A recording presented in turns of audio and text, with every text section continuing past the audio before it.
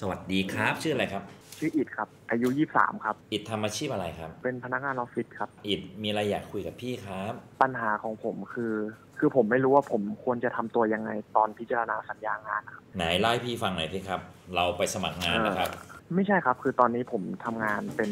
สัญญาจ้างอยู่ที่ออฟฟิศหนึ่งแล้วคือตอนเนี้ยครับคือเขาเหมือนจำลังจะพิจารณาผมในสัญญาจริง แต่ว่าสัญญางานเนี่ยผมจะหมดเดือนสิงหาครับแล้วคือผมไม่รู้ว่าผมควรจะต่อเพื่อซื้อใจเขาหรือว่าควรจะให้เขาพิจารณางานเลยครับอธิบายให้ชัดเจนก่อนนี่นะครับทำงานทำไมต้องมีคำว่าซื้อใจมีคำว่าอะไรครับ เหมือนเด็กสัญญาจ้างอะครับที่จะได้ต่อเป็นสัญญาประจำอะครับเขาจะต้องผ่านการพิจารณาจากหัวหน้างานก่อนนะครับ แล้วคือทีเนี้ยผมมาได้พิจารณาแล้วแต่เขาไม่ได้บอกว่าให้คำตอบผมวันไหน ตอนแรกอะผมมาคิดว่าผมจะต่อเหมือนสัญญาจ้างอะครับ ก็จะต่อไปเรื่อยๆ ทุกเดือน เพื่อที่จะแบบว่าซื้อใจเขาเพื่อให้เขาดูผมอีกหน่อย หรือว่าผมควรจะไปคุยเลยว่าแบบสรุปผมยังไงดีไอ้การจ้างไม่จ้างมันแล้วแต่บริษัทไม่ใช่ครับอยู่ที่เราก็ได้ด้วยเหรอครับ คือของผมอะครับ เหมือนผมมาหางานจากบริษัท outsource แล้วเหมือนบริษัทใหญ่อะบริษัทผมทำงานอยู่ครับ จ้าง outsource อีกทีหนึ่งเพื่อหาคน ก็คือผมจะอยู่ในฐานะพนักงานของ outsource ที่ทำงานให้บริษัทหนึ่งแต่ว่าผมอยากได้สัญญางานของบริษัทนี้เลย โดยที่ไม่ผ่าน outsource ก็เป็นสัญญาจริงที่เขาเซ็น contract กันเป็นปีต่อปี แต่โดยมารยาทแล้วเราก็ต้องคุยกับ outsource อยู่ ตลอดไม่ใช่เหรอครับ เพราะเรามาจากทางนั้นนะครับ แต่ในกรณีที่คือสมมุติว่าถ้ากับบริษัทเราทำงาน แล้วบริษัทเขาก็รักใคร่ชอบพอเรามีความสนิทสนมกันถูกสุดท้าย บริษัทอยากจะจ้างเราตรงโดยไม่ผ่านเอาซอร์สมันก็เป็นเรื่องที่บริษัทต้องตัดสินใจสิครับ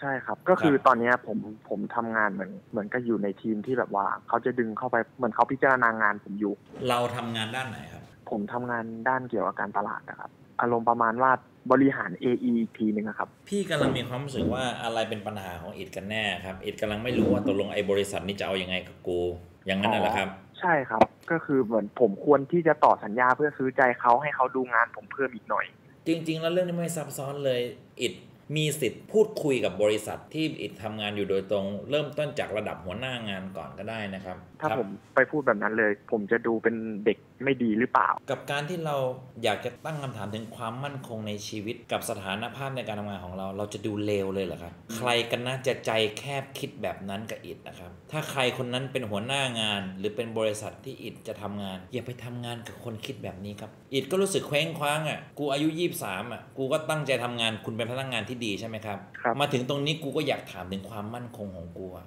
ว่าสถานะทางการทำงานกูเป็นยังไงสัญญากูหมดแล้วกูจะยังไงล่ะครับ อิดเป็นเด็กอายุ 23 ฟังเอาไว้นะครับ mindset ของคนทำงานสมัยนี้ เรากับบริษัทไม่มีใครใหญ่กว่ากันนะครับ พี่ไม่รู้ว่าบริษัทอื่นๆเนี่ยเขายังมีชุดความคิดโบราณอย่างนี้หรือเปล่า ว่าบริษัทต้องใหญ่พนักงานจะต้องต้องง้อบริษัท วันนี้พี่เพิ่งรับพนักงานหนึ่งคนมาใหม่ แล้วพี่ก็ย้ำประโยคเดิมๆเหมือนพี่พูดกับน้องทุกคนที่พี่รับเข้าทำงาน คืออ่าเริ่มต้น probation ทดลองงาน 3 เดือน พี่ดูเรา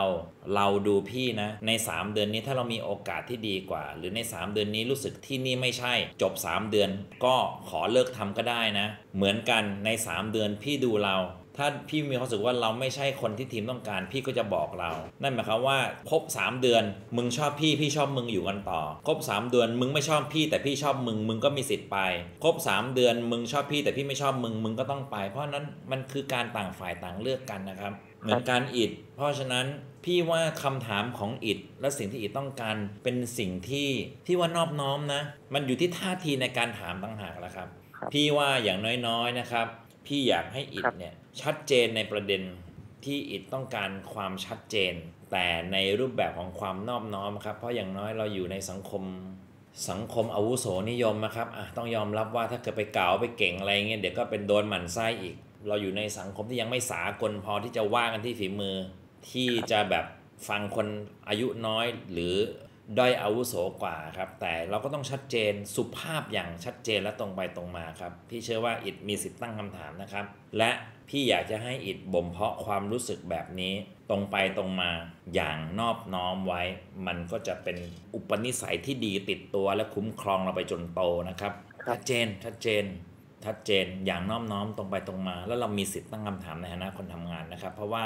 ไม่ว่าจะเป็นเครื่องจักรขนาดเล็กขนาดใหญ่ก็ตามทุกฟันเฟืองมีประโยชน์ครับ ถ้าเราคิดว่าเราสร้างผลประโยชน์ให้กับบริษัท แปลว่า เฮ้ย นี่เราร่วมธุรกิจกูไม่ใช่ทาสไปโชคดีที่อิทโทรติดครับ น้องๆรู้ใช่ไหมว่ามีปัญหาโทรหาพี่ได้ตลอดเลยครับ ในอย่าหาวันนาสอนที่ Facebook และ YouTube นันเน็ก555 ใน Facebook ก็กดไลค์กดแชร์พี่ด้วยนะ ใน YouTube กด Subscribe กดกระดิ่งให้พี่ด้วยนะครับ